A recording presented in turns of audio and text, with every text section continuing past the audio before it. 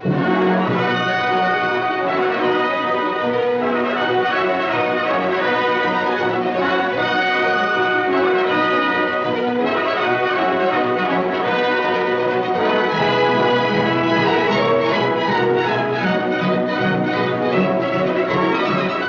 a princess.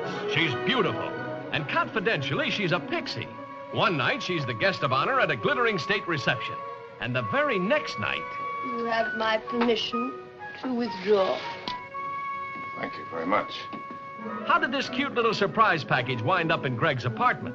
That's what he's wondering, too. And wait till you see the princess let her hair down, with a whole army turning Rome upside down to find her. Joe, we can't go running around town with a hot princess. You want in on this deal or don't you? And what a deal it is when the princess starts giving Greg the royal runaround.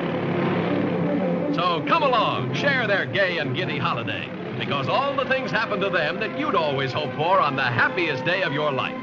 Share the fun as the princess comes face to face with the kind of characters she never bumped into before. Share the glory of a romance as radiant as the Roman moonlight. And share the excitement of the wildest escapade that ever set the eternal city on its ear.